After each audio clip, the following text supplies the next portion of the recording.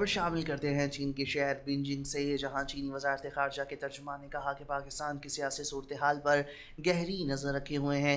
Press briefing के दौरान चीन की तरफ़ से फराम करदा कर्ज की इमदाद और दीगर इमदाद के बारे में पूछे गए। सवाल के जवाब में चीनी वजारत खारजा के तर्जुमान ने कहा कि चीन और पाकिस्तान हम मौसमी तंजीराती ताउन पर मबनी शराकत दार हैं। हम मुश्तर तरक्की के लिए और मुश्किल पर काबू पाने के लिए मुश्तर कोशिशों में एक दूसरे का साथ देते रहे हैं। तर्जुमान ने मजीद कहा कि चीन ने पाकिस्तान की माली सूरत हाल को मुस्तकम करने में मदद के लिए अपनी पूरी कोशिश की है।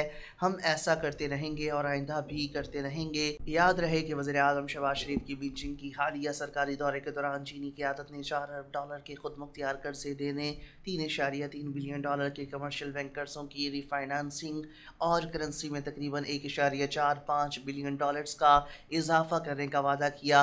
पाकिस्तान की मौजूदा सियासी सूरत हाल के बारे में एक सवाल के जवाब में उन्होंने कहा कि चीन सियासी सूरत हाल पर गहरी नज़र रखे हुए है।